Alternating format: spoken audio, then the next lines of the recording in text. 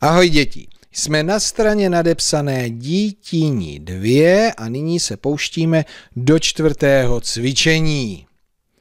Tak, toto cvičení vy zvládáte zcela samostatně. Takže připomínám, prosím, přečtěte zadání, vyřešte a tentokrát se vracet nemusíte, protože své řešení porovnáte s kamarády.